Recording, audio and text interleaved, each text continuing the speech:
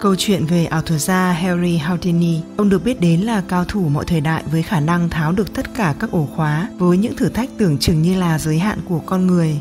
Truyền thuyết kể lại, ông ra lời tuyên bố thách thức tất cả nhà tù trên thế giới có những ổ khóa chắc chắn nhất rằng ông có thể mở khóa thoát ra khỏi cánh cửa nhà tù chỉ trong một giờ đồng hồ và đã có nhà tù chấp nhận lời thách thức đó của Houdini.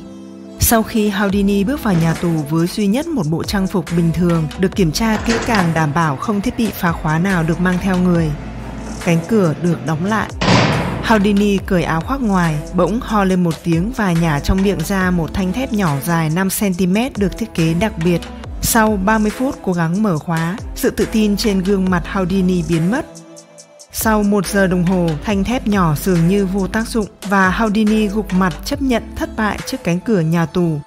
Mà sau đó nó tự động mở một cách dễ dàng. Hóa ra, cánh cửa trước đó không hề bị khóa mà nó chỉ bị khóa trong chính tâm trí của Houdini.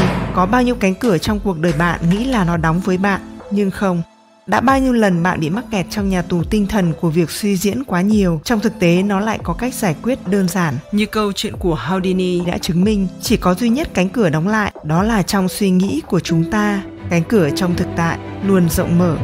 Và điều duy nhất bạn cần làm là bước qua nó